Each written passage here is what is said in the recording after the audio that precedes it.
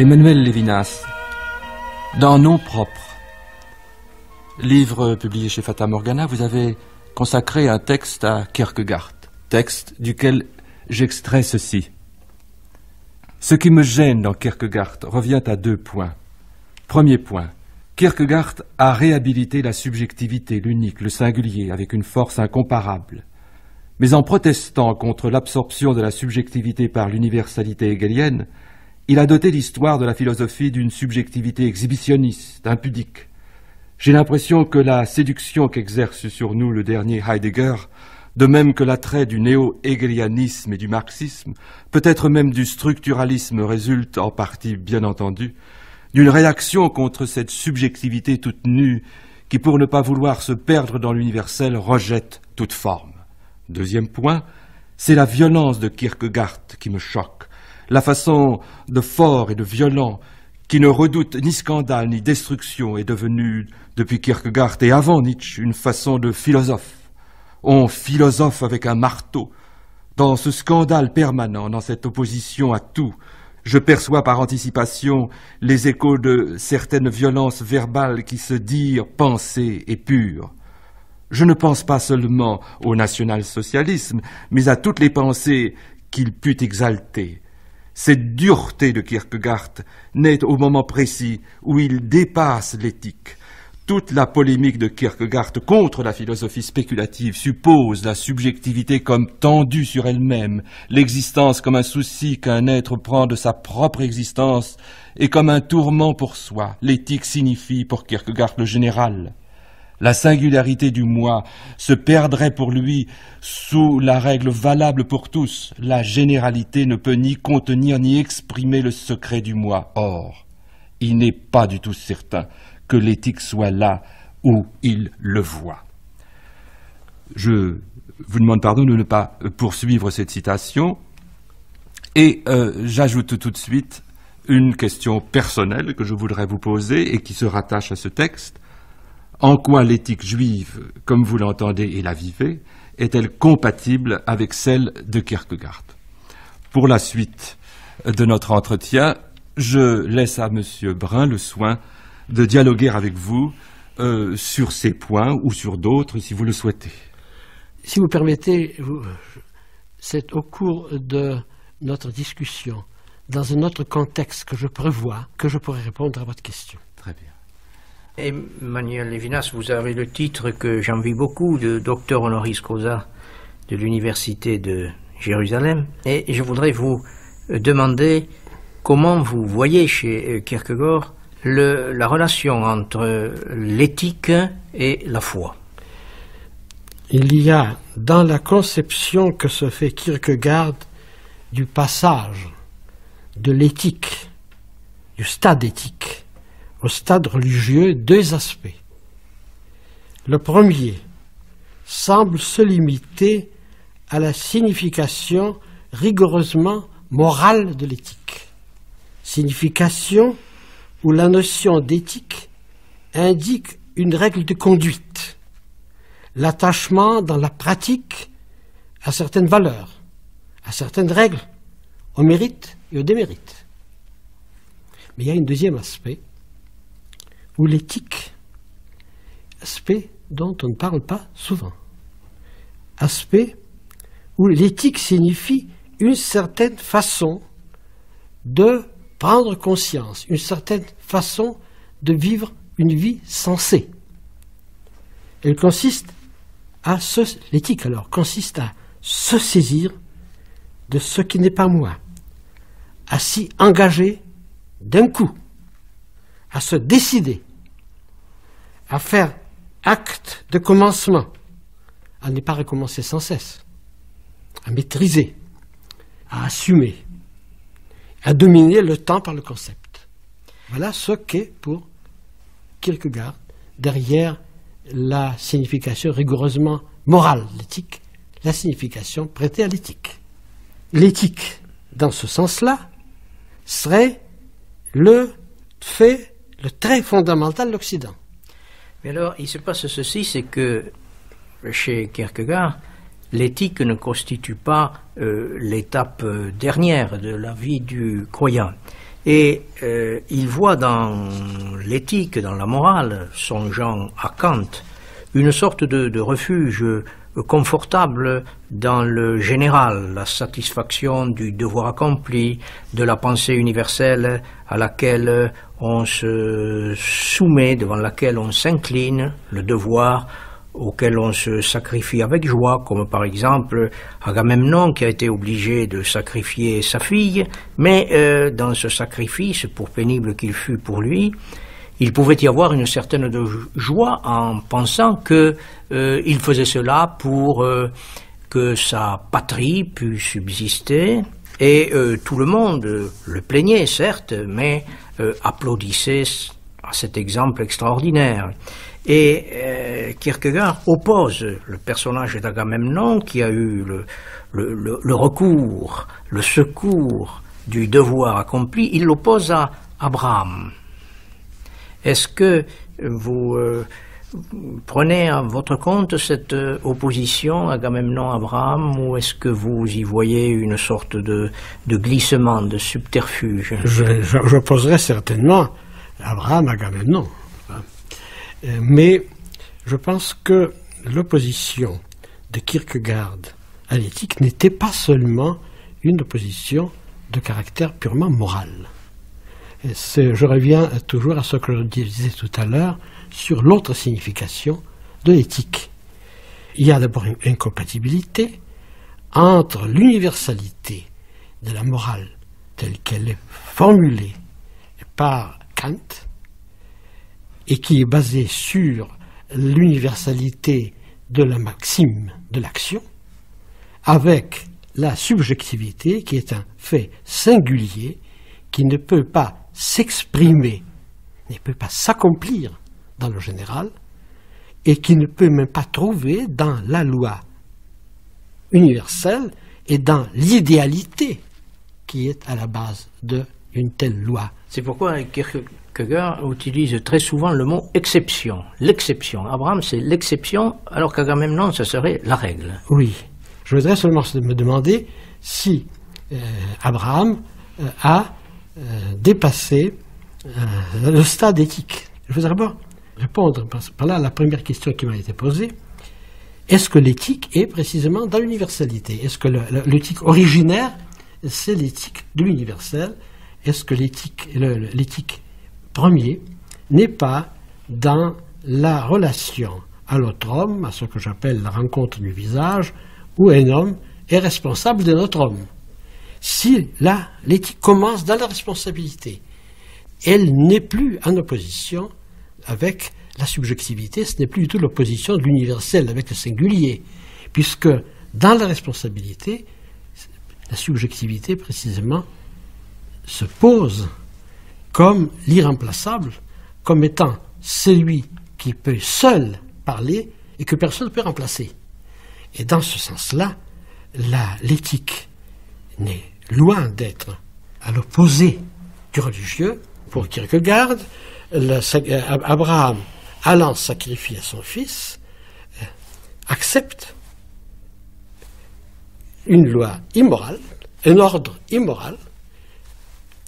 Dieu lui a demander quelque chose qui est contraire à la morale, mais la morale ne compte plus pour lui, puisqu'il accepte cet ordre. Par conséquent, euh, Abraham est celui qui a rompu avec l'ordre éthique. Or, je dis dans ce texte que nous vous de lire, venez de lire, n'est-ce pas, que la chose la plus étonnante, c'est qu'Abraham a entendu la deuxième voix non pas qu'il l'a entendu, mais qu'il a perçu.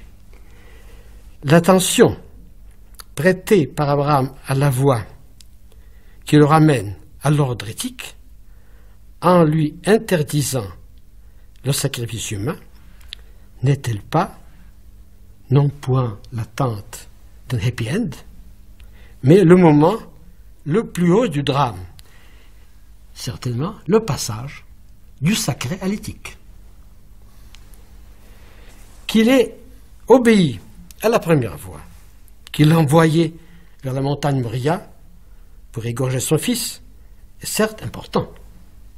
Mais cette obéissance peut être comprise comme ayant un contexte psychologique plus complexe qu'un simple dépassement de l'éthique. Voulez-vous que je vous raconte à ce sujet la lecture juive du texte Lisez le verset 5 du chapitre 22. Abraham approche de la montagne Moria.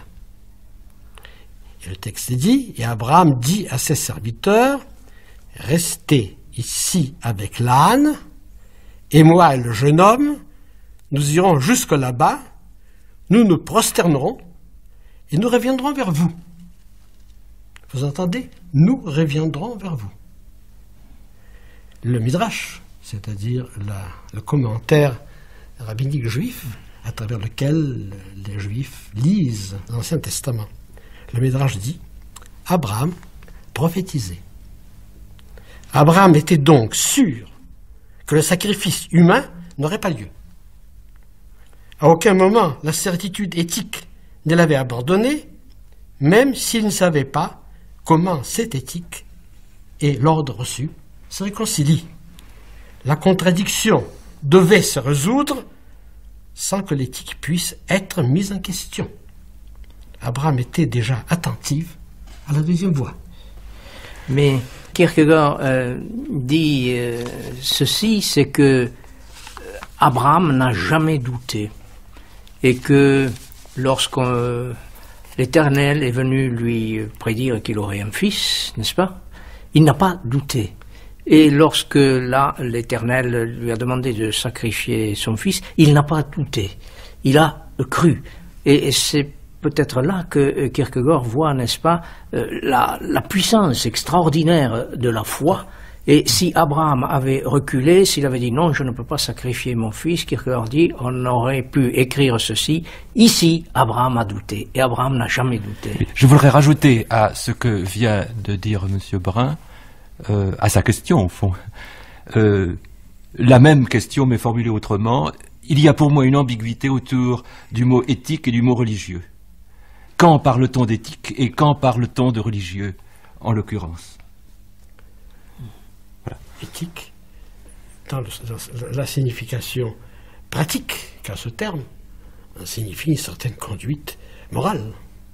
Ce qui est demandé à Abraham est très cruel, d'abord cruel, contre toute promesse qui lui a été faite.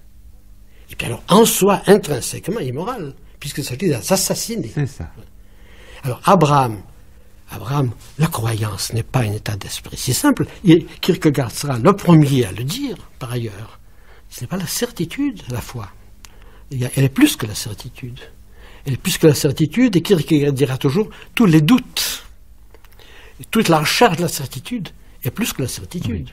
Et il y a un passage où euh, Kierkegaard imagine que Abraham aurait pu dire euh, à son fils, pour que celui-ci ne meure pas en maudissant Dieu, mais en maudissant son père, Kierkegaard imagine donc qu'Abraham lui aurait dit, eh bien, détrompe-toi, je suis toujours un idolâtre et je vais commettre un sacrifice humain. Et ainsi, Abraham aurait entendu son fils le maudire, mais il aurait eu cette consolation de ne pas euh, maudire Dieu. Naturellement, le sacrifice, le sacrifice n'a pas lieu. Abraham n'a pas à recourir à ce euh, subterfuge. Mais je crois qu'il y a dans euh, chez Kierkegaard l'idée suivante, c'est que Abraham n'a pas douté tout d'abord, et puis qu'il s'est mis, il s'est trouvé en présence de ce qu'était la vérité, à savoir la vérité souffre et il a souffert pour découvrir la vérité de Dieu, puisqu'il a été mis au pied du mur, il allait presque sacrifier son fils, mais c'était pour la vérité. La vérité lui avait demandé cela. Dans ce même texte que je citais tout à l'heure, un peu plus loin, vous dites Kierkegaard apporte par là quelque chose d'absolument nouveau à la philosophie européenne, la possibilité d'arriver à la vérité à travers le déchirement toujours recommençant du doute lequel ne serait pas seulement une invitation à s'assurer de l'évidence, mais ferait partie de l'évidence elle-même. Alors je crois que c'est un point très important, celui-là. Absolument. Cette fois-ci, nous sortons de la discussion rigoureusement morale, théologique. C'est ça, oui. Il y a là la chose la plus importante de Kierkegaard, c'est sa conception, sa philosophie, n'est-ce pas? Ça, ça, ça m'amène à la deuxième, à ce deuxième aspect de la relation entre foi, entre euh, éthique et religion.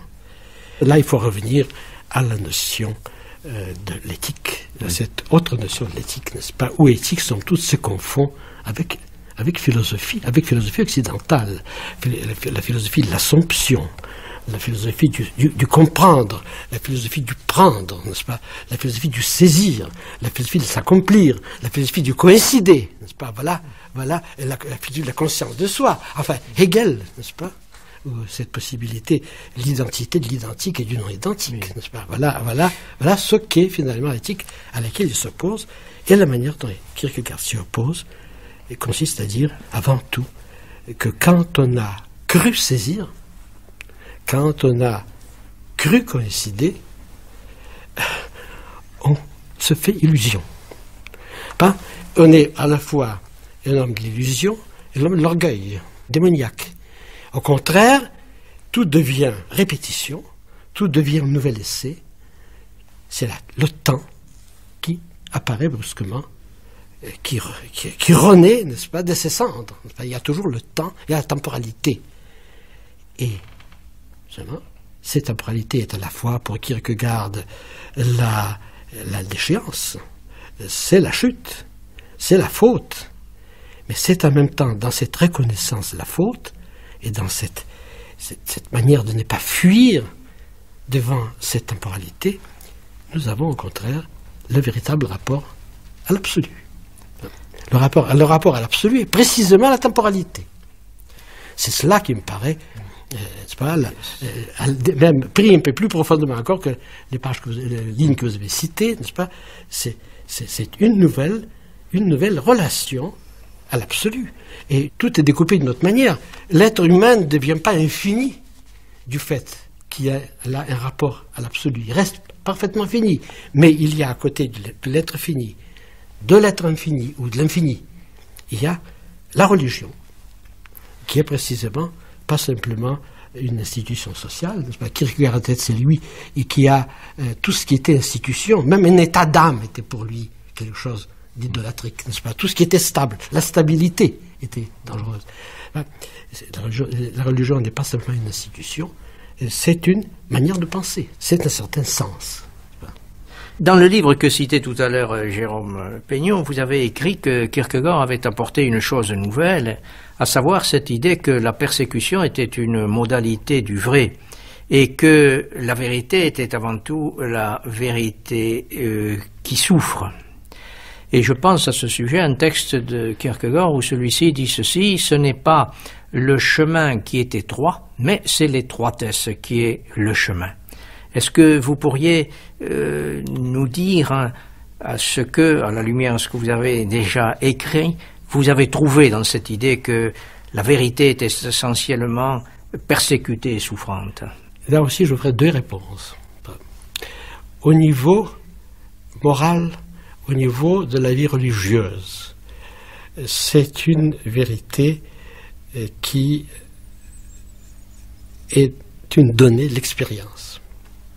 C'est une vérité, la vérité persécutée, le fait que le vrai est persécuté et qu'il est vrai malgré la persécution, et que dans la persécution, on peut ressentir même son élection, ce sont des idées qui me sont proches, mais que je ne voudrais pas développer davantage. J'ai protesté tout à l'heure, d'après votre citation, contre tout ce qu'il y a d'indiscret dans la subjectivité qui s'exhibe. Mais pour moi, cette idée que la vérité est persécutée est une manière concrète de dénoncer aussi des relations purement philosophiques. La relation que Kierkegaard a entrevue à travers le temps avec le vrai avec le vrai qui est Dieu. C'est absolument évident, n'est-ce pas?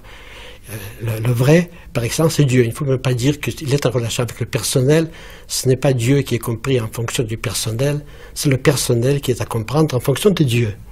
Autrement dit, la catégorie de la relation à l'infini, qu'est le temps chez Kierkegaard? Il y a deux aspects. Il y a du côté de l'homme une faiblesse, une temporalité, la répétition.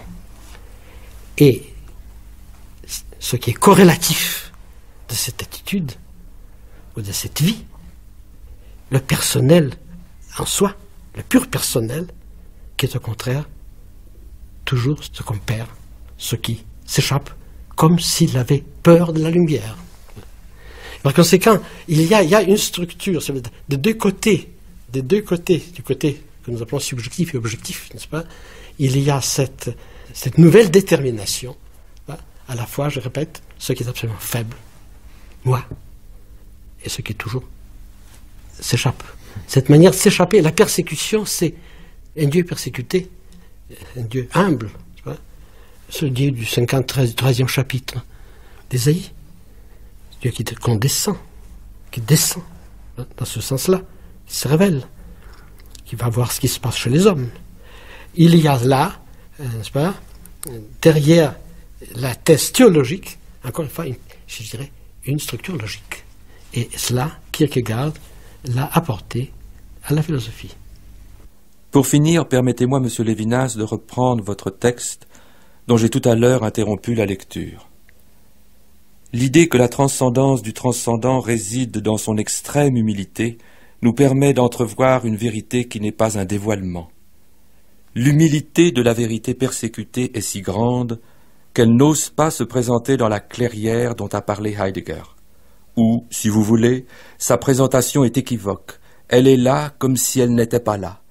Telle est pour moi la nouvelle idée philosophique apportée par Kierkegaard l'idée de vérité persécutée nous permet peut-être de mettre fin au jeu du dévoilement où toujours l'immanence gagne sur la transcendance. Car une fois l'être dévoilé, fût-ce partiellement, fût-ce dans le mystère, il devient immanent. Il n'y a pas d'extériorité véritable dans ce dévoilement. Et voilà avec Kierkegaard quelque chose se manifeste. Et puis, on peut se demander s'il y eut manifestation. Quelqu'un a fait une ouverture, mais non, il n'a rien dit. La vérité se joue en deux temps.